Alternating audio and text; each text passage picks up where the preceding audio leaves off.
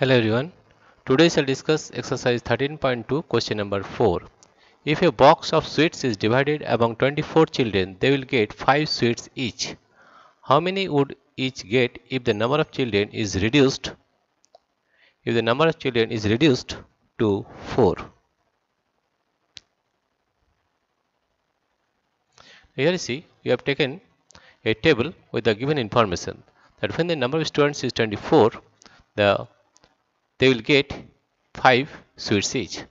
When the number of students is reduced by 4, that means the number of students will be 20, then number of sweets be x. Let the number of sweets be x.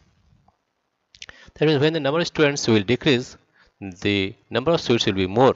That means they are in inverse proportion. Here you see that the number of students, that, that is the number of students, the number of students number of students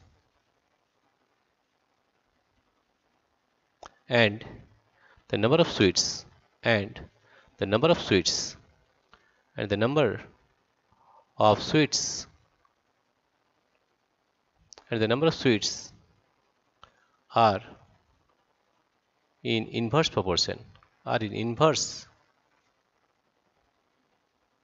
proportion inverse proportion since they are in inverse proportion, we can say that 24 into 5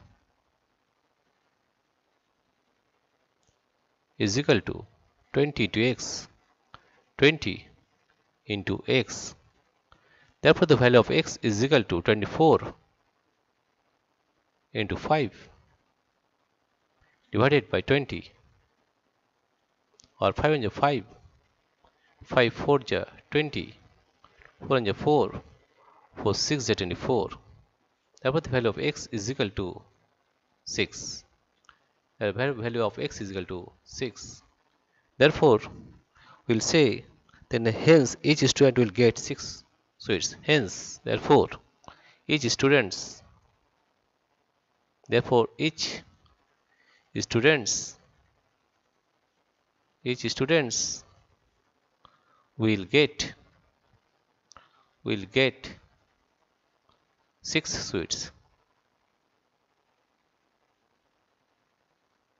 Dear friends if you like this video please subscribe like and share. Thank you everybody for watching this video